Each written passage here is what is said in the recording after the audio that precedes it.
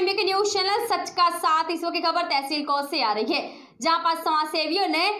कैलिया SMO समेत पुलिसकर्मियों को किया सम्मानित।